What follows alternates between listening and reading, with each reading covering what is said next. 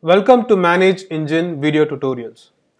In this screencast, you will learn how to automatically select members of a cab for a change request using custom triggers.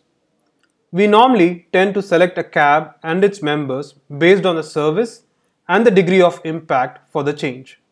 Now using custom scripts, we can automate them based on any field value of a change request.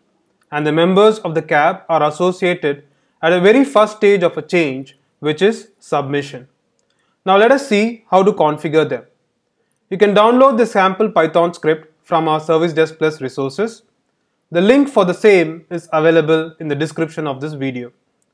Extract the Python script file under Manage Engine, Service Desk, Integrations, Custom Scripts.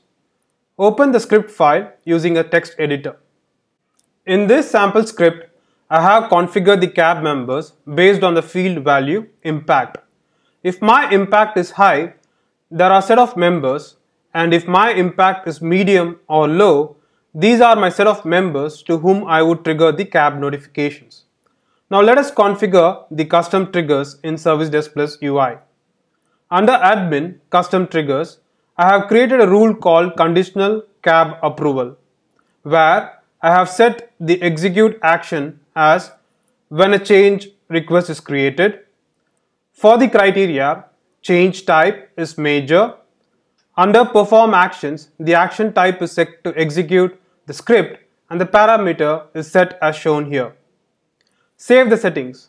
Now let us see how the script is executed. I raise a new change request where I select the user, change type as major and impact as high. Now, when I save this to raise a change request, cab members are added automatically based on the configurations that were made in the script file. Thank you for watching this video and feel free to post your questions and comments in our resource section.